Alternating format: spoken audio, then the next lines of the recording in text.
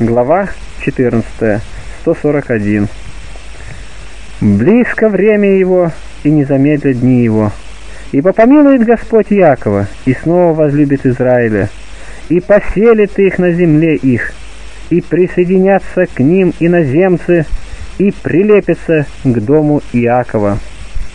После 70 лет, назначенных Богом для плена народа иудейского, они возвратятся из Вавилона и пришлец приложится к ним, и умножится дом Якова, как никто тогда не будет понуждать, и никто не будет уводить их от земли Господней. И возьмут их народы, и приведут на место их, и дом Израиля усвоит их себе на земле Господней рабами и рабынями, и возьмет в плен пленивших его, и будет господствовать над угнетателями своими.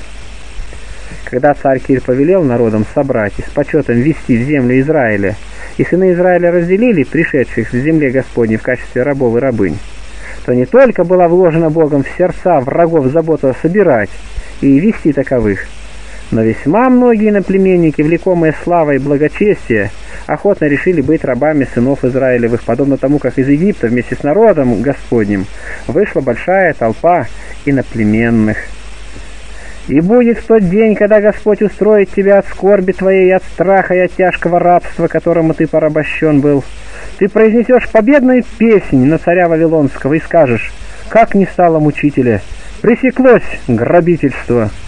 Удивительно. Бедствие называется покоем. Акила яснее показывает, каким образом ад перестал от дела своего в виде бедствия его, царя Вавилонского. Огорчился, встретив его, воспламенились гневом, Сокрушил Господь жезл нечестивых, скипетр владык, поражавший народы в ярости ударами неотвратимыми, в гневе господствовавший над племенами с неудержимым преследованием. Вся земля отдыхает, покоится, восклицает от радости. И кипарисы радуются о тебе, и кедры ливанские говоря, с тех пор, как ты заснул, никто не приходит рубить нас. Ад преисподней пришел в движение ради тебя, чтобы встретить тебя при входе твоем. Пробудил для тебя Рифаима всех вождей земли, поднял всех царей языческих с престолов их. Все они будут говорить тебе, и ты сделался бессильным, как мы, и ты стал подобен нам. В преисподнюю низвержена гордыня твоя со всем шумом твоим. Под тобою подстилается червь, и черви покров твой.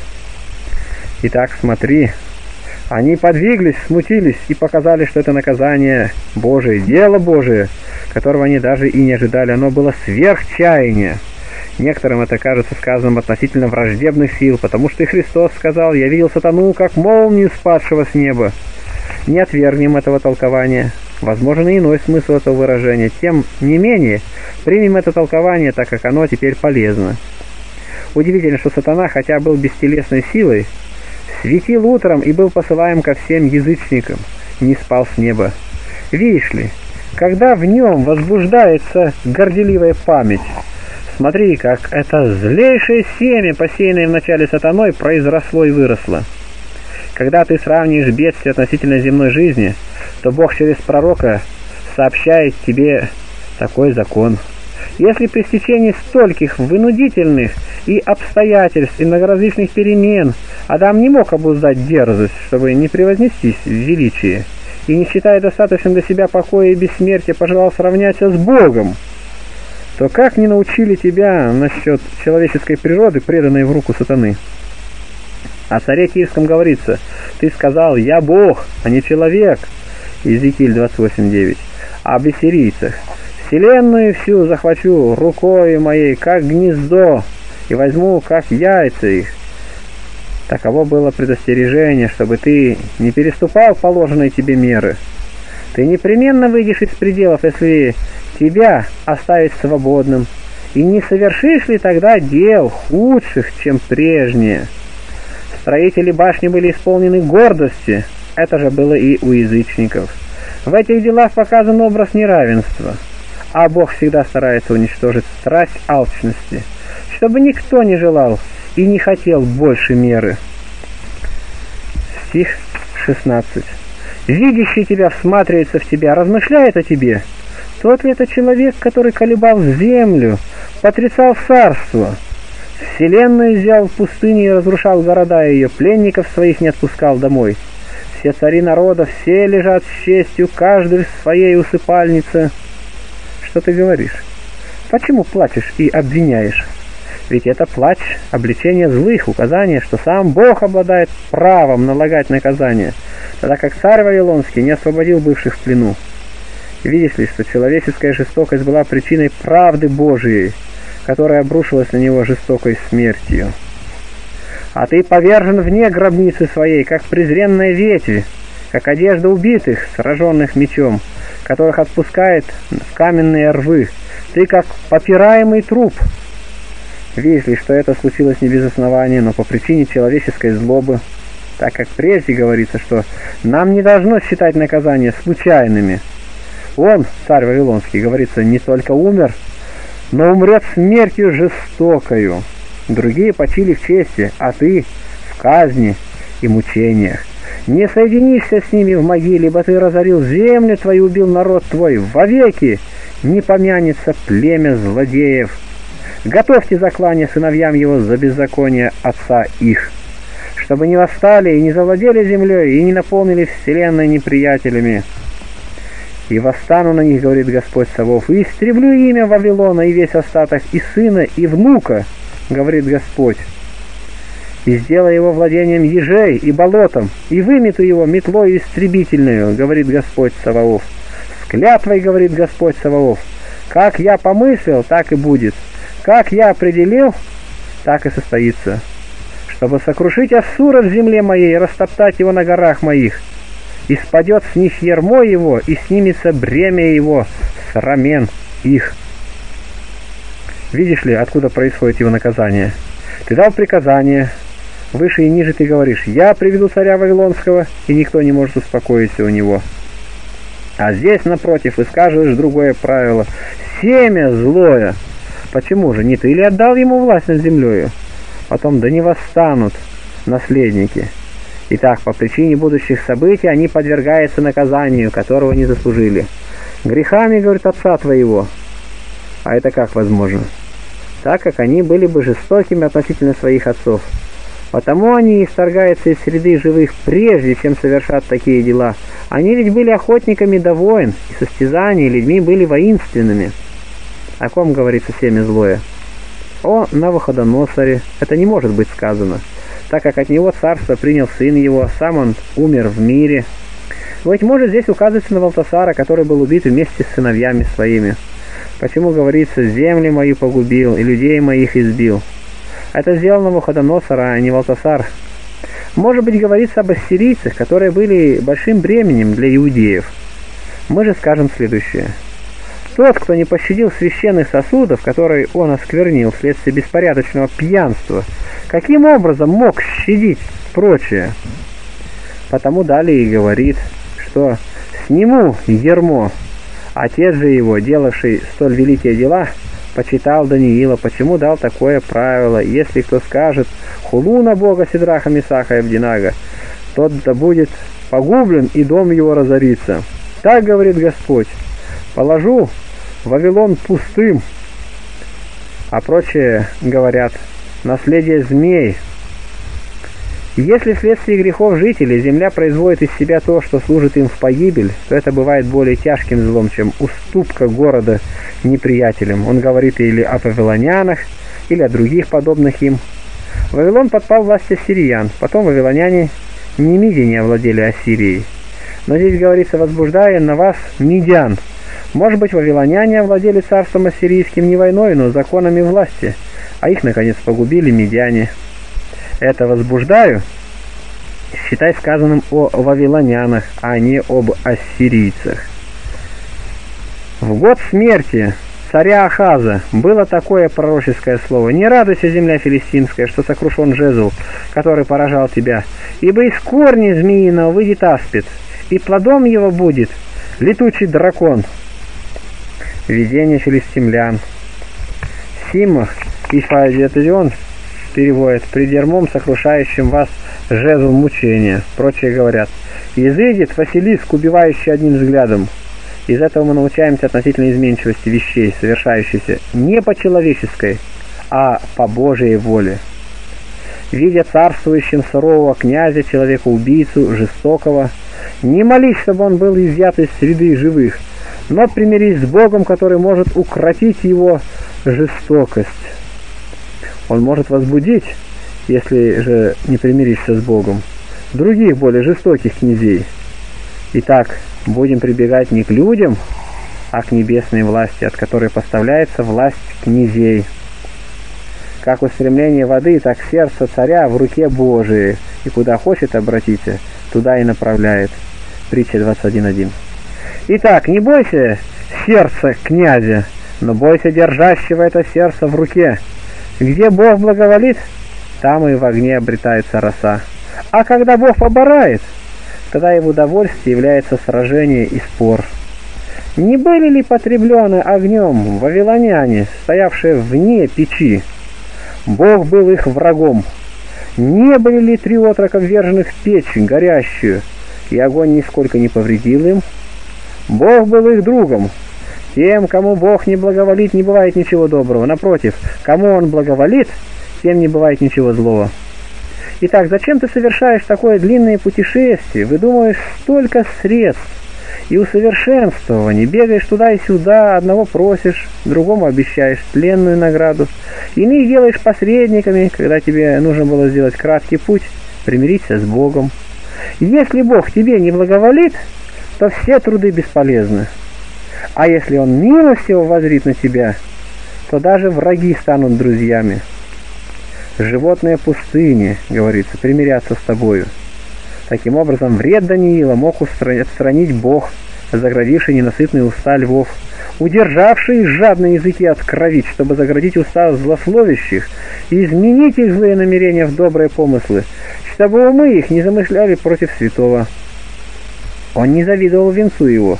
Любовь пророка к Богу и любовь Бога к нему не обнаружились и не восхвалились бы, если бы Бог не попустил пророку испытать труды искушения.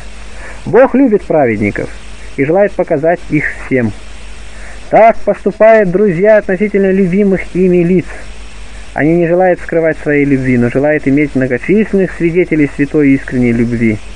Бог же, хотя не нуждается ни в чем, украшает себя любовью святых, подобно человеку, украшающему себя украшениями, и желает всем сделать явную любовь свою, любовь к себе. Послушай, как Бог любил Иова, хотя этого никто не знал. Что же он делает? Объявляет о своей любви сатане, чтобы из этой любви показать похвалу Иова. Итак, смотри, как он похваляет его. «Видел ли ты раба моего Иова, ибо нет такого, как он на земле?» Это слова любви, и они не таковы, как наши. Мы хвалим по лести, а он не так. Бог не только говорит «я желаю показать вам похвалу его, так как люблю его», но призывает весь мир на зрелище, оставляет борца в битве одного, а сам отступает, чтобы кто-либо не сказал, что вся победа принадлежит ему одному. Бог стоял вдали внимательно наблюдал за борьбой борца. Хотя у борцов присутствует учитель, которого никому невозможно удерживать. Но Бог, чтобы победа была блистательной, не был таковым. Не учил его способу борьбы, но оставил его в борьбе одного и безоружного. «Ты, — говорит, — замыслил отнять его благо, я же отдам в руку твое тело его, а против него ты ничего не возможешь». Бог всем желает показать, как Он любил его, и открывает свою любовь к нам, будучи сам свободен от всякой злой страсти. Мы во всем ищем славы, желая для хвастовства показать те доблести, какими мы одарены. Он же не так. Но чтобы сделать нас кроткими и честными, страница 145, том 6, как иной друг, чтобы показать свою любовь к возлюбленному, рисует его телесный образ – глаза, нос, щеки. Так желает показать свою величайшую любовь Бог. Потому он отпечатливает в душах прекраснейший образ и доставляет свидетельство, что ничто не сравнится с его красотою. Сперва об Иове засвидетельствовано, что в то время он один был приятен Богу, а потом перечисляется в отдельности его добродетели, человек праведный, истинный, боголюбив, удаляющийся от всякого зла, Откуда это явствует, говорит сатана? Я сделаю то, что ты испытаешь его. как если бы кто-либо сказал, «Красота является от белил, румян и лазури. Позволь мне отнять украшение, чтобы тебе видеть, как безобразно лицо, которое ты любишь». А тот уверенно сказал бы, «Иди и мой как угодно, и оно явится еще красивее». Так же говорит и Бог. «Иди, испытывай, и ты увидишь, что он окажется еще светлее». Он благосклонно говорит своему возлюбленному, как бы так, «Не думай, что я оставил тебя. Я не отнял любви по попечения. Напротив, ради любви сделал все, чтобы всем показать свою любовь к тебе. Смотри также, что сказал Иов. Господь дал, Господь и взял. Неужели доброе будем принимать от руки Господа, а злое не будем? Не желая, чтобы кто-либо злословил его возлюбленного, а иной мог сказать, «В такие бедствия он предал тебя». Иов своей любовью устраняет проклятие. «Да будет, — говорит, — имя Господне благословенно. Люблю, — говорит, — и не могу я злословить его». Хотя в другом месте говорится, укоризна отнимает любовь. Однако в данном случае не говорится об этом, но таковые обстоятельства кажутся безвредными. Не только были укоризны, но и тяжкие мучения, и они никоим образом не могли повредить ему, хотя он и говорил с жаром, но не по причине укоризны, а мольбы. Мучительная же мольба была следствием полученной скорби. Тяжкие следующие слова его. «Не учимся нечестивыми быть». «По что положил прикословным тебя?» Иов 7, 20, 10, 2.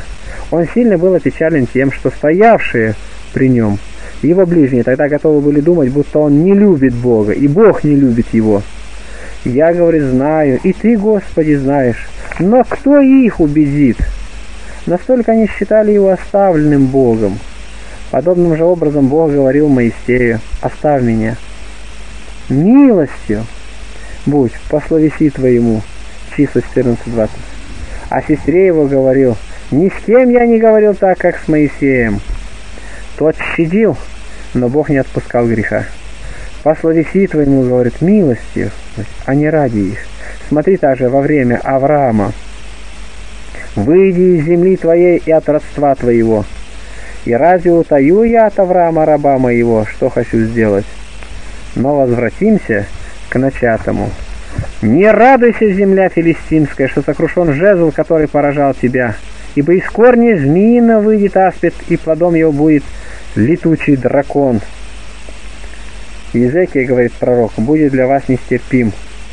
Но почему он не сказал «Бог вас накажет»?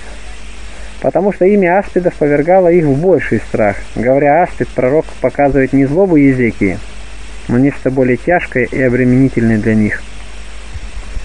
Тогда беднейшие будут накормлены, и нищие будут покоиться в безопасности, а твой корень уморю голодом, и он убьет остаток твой. Видишь ли, как они не веровали тому, что происходит и что имеет произойти от Господа. Нечто подобное же случилось во время пришествия Христова. Он пасет убогих, питает неимущих, богатые же не так, но остаются жадными. Бедных пасет Бог, как он и говорит, я есть пастырь добрый. Добрый пастырь не в том смысле, что опытен в богатом столе, но что ведет овец к ясному и чистому источнику. Не видишь ли ты овец, которая не желает тонких снедей, но щиплет простую пищу?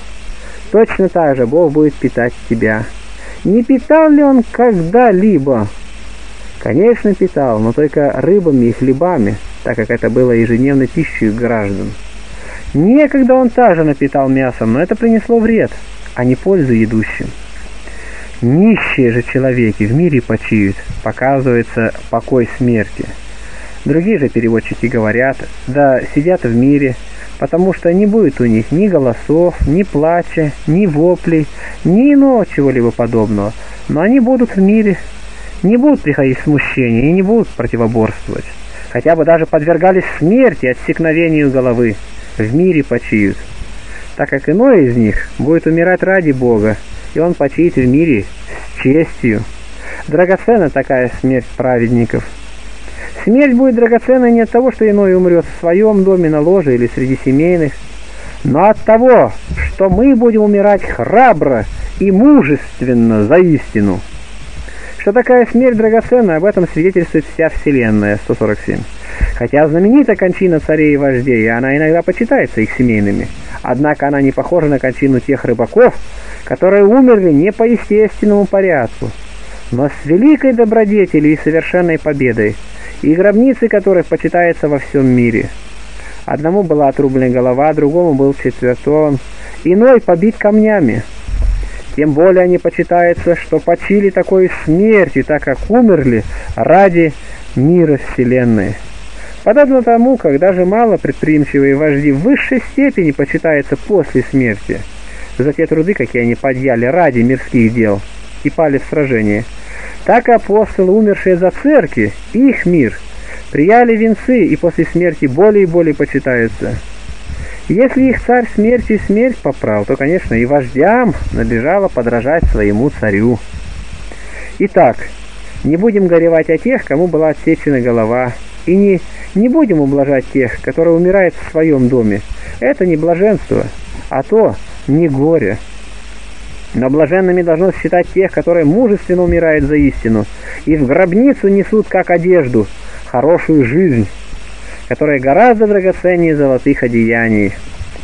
Иной, оставляя умирающего за истину нагим и считая недостойным погребения, таким образом более украшается его – нанося ему тяжкий позор за понесенный ради истины труд.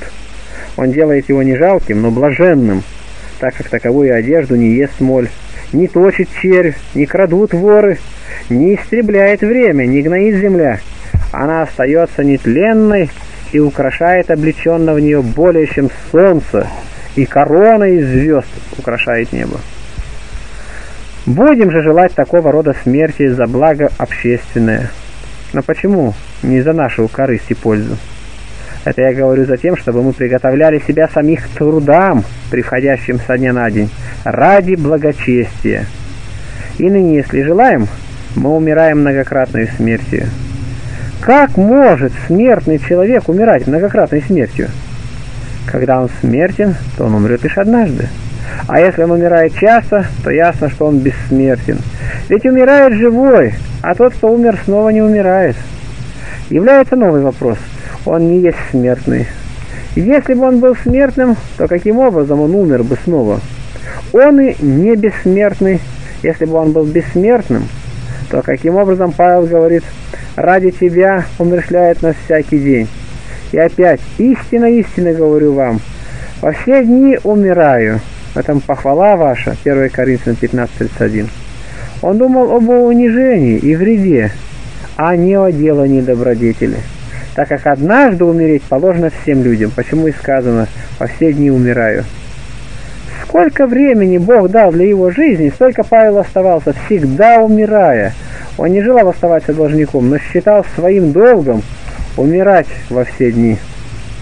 Что же равно этому показываем мы? Смотри, кому дано покоиться таким образом. Бедным, слабым, не велеречивым.